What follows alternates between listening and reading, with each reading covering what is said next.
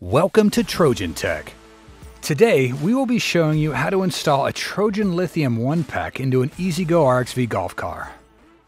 To complete this installation, you'll need the following tools. A cordless drill, drill bits or hole saws including 3 8 inch, 7 8 inch, and 2 inch diameters, drive bits or screwdrivers, flat, Phillips, hex, and Torx, drive bit and socket extensions, 3 8 inch drive torque wrench, 3 8 inch drive sockets, including 12 and 13 millimeter, and a 9 16 inch deep socket, side cutters or flush cut pliers, needle nose pliers, zip ties, and electrical tape.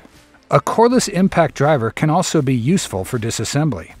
Included with your purchase of the Trojan Lithium Ion OnePack battery is a charger, a gauge kit which includes a wire harness, an on off button, and an LCD screen. You will also be provided with a mounting bracket that is cut to fit the custom vehicle's make and model. The RXV we are working on today has an automatic parking brake that engages when the battery is removed. If your vehicle doesn't have that feature, set the parking brake or use wheel chocks to prevent the car from moving while you work on it. Make sure to turn the key switch to the off position. Next, you'll be removing the seats. Tilt forward and lift the hinges out from the front of the body of the vehicle.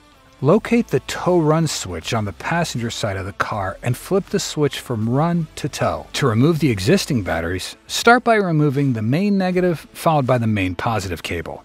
Tuck the cables out of the way. Be sure not to lose track of the blue wire. Then, remove the remaining cables and set them aside. They won't be reused.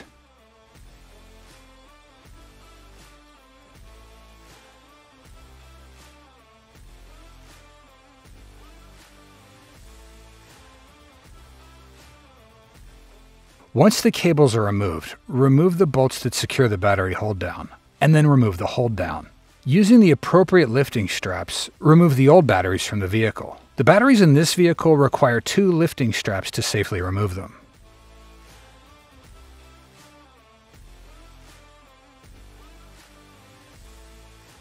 It's easier to pull the rear battery into the main compartment using the straps. Then reposition the straps and remove the battery. Before installing the new mounting bracket, clear out any loose dirt or debris from the battery compartment with a rag or vacuum. The mounting bracket on this E-Z-GO car is in two separate pieces that will mount onto existing holes in the body on either side of the battery compartment. Each piece is mounted using a bolt and flat washer fed from under the vehicle, then secured from the top with another flat washer, a lock washer, and a nut. You may need a helper to feed the bolt from under the car.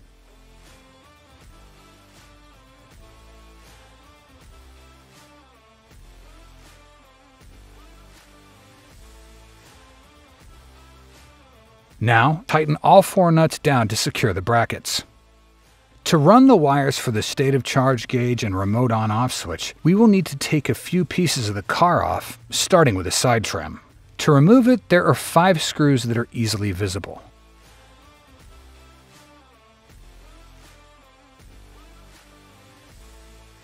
Once they are removed, the panel slides off horizontally away from the body. Use the same procedure to remove the trim piece from the other side. The floor liner is secured with push rivets that can be removed using a flat blade, screwdriver, or trim panel removal tool. There are seven total. Be sure not to miss any around the pedals.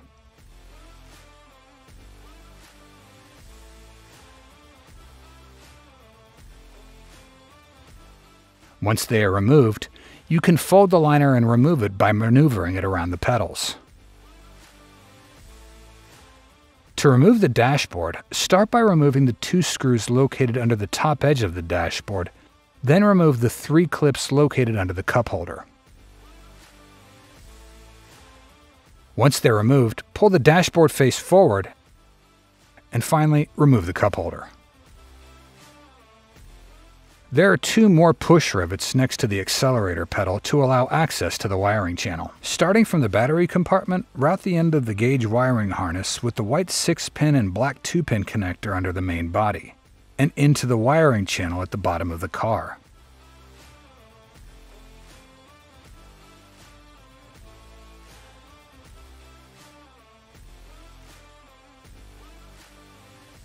Route the cable under the dash and behind the dashboard.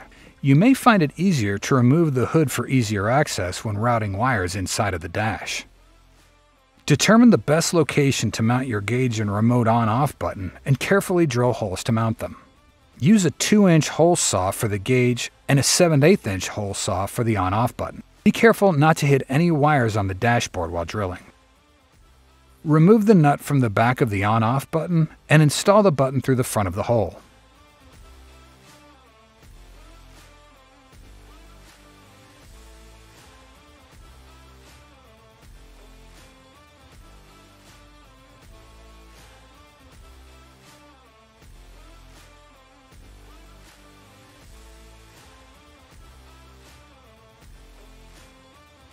Install the gauge display from the front of the dashboard with the Trojan logo in the 12 o'clock position.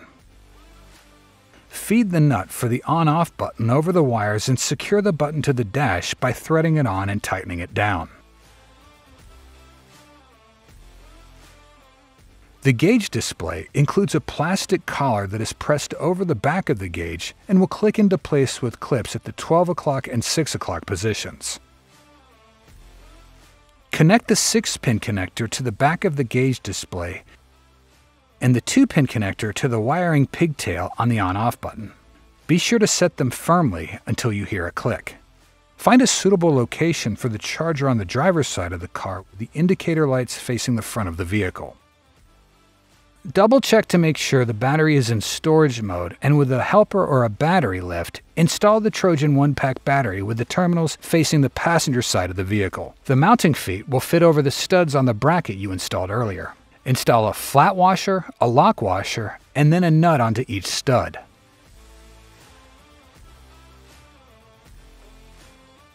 Tighten down until the battery is secure. For easier access to the battery terminals, Remove the two push rivets that secure the emergency brake release cover, then remove the cover and move it out of the way. Being careful not to strain the wires that attach to the tow run switch. Route the charger cables around the front of the battery compartment toward the battery terminals.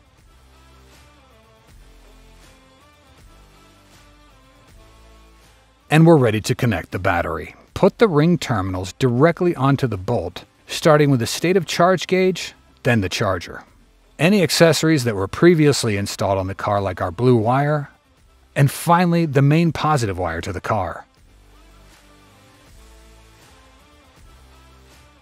Hand thread the bolt into the positive terminal and then torque to 55 inch pounds. Once it's tight, replace the protective cover.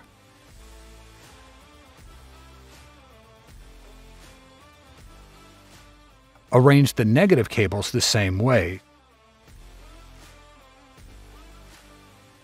starting with the gauge harness and ending with the main negative cable. Hand tighten the bolt into the terminal and torque to 55 inch pounds. Install the protective cover. The gauge communication cable should be connected to COM1. The connector is keyed. The notch should be at the 12 o'clock position. Secure it in place by spinning the silver collar clockwise. The CAN terminator will be installed on COM2. It is keyed the same way with the notch in the 12 o'clock position. Secure it by spinning the silver collar.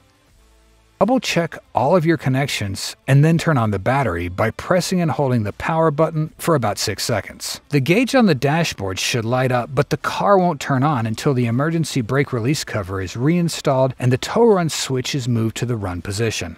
Once you've confirmed the gauge and dashboard push button are working correctly, Reassemble the dashboard floor and trim panels in reverse order of how it was disassembled.